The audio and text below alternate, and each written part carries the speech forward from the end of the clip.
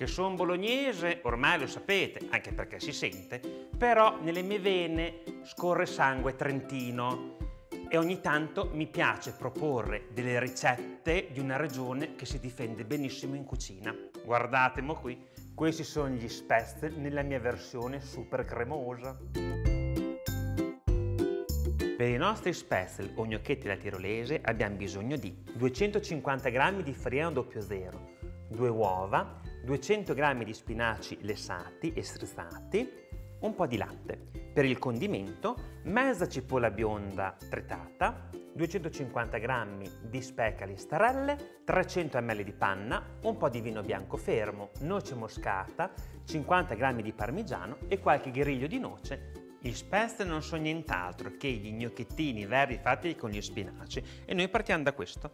Mettiamo la farina dentro una terrina capiente, insaporiamo con del sale e del pepe nero grattugiato. Diamo una piccola rimestatina, due uova grandi e un pochino di latte che va aggiunto poco per volta. Frustiamo.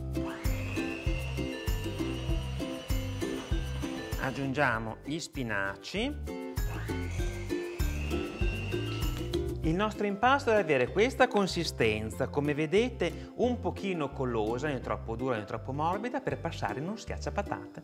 Lasciamo riposare l'impasto dei spätzle per una mezzorettina circa. Ora ci dedichiamo al condimento.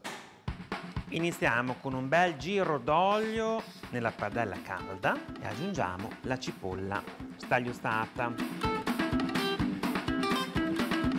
Ci manteniamo trentini anche nel condimento, o oh, questo è un omaggio a mia mamma, eh? aggiungiamo speck, alistarelle.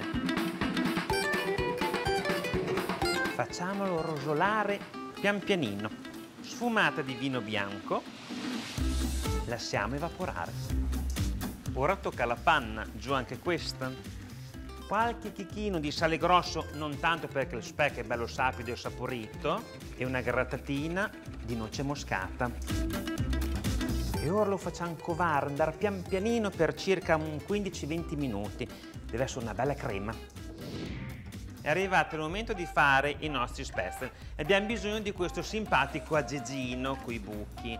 Se non l'aveste a casa potreste utilizzare anche un schiacciapatate dai fuorilarghi grossi. Mettiamo un bel giro di olio nell'acqua bollente che così eviterà che i gnocchettini si attacchino.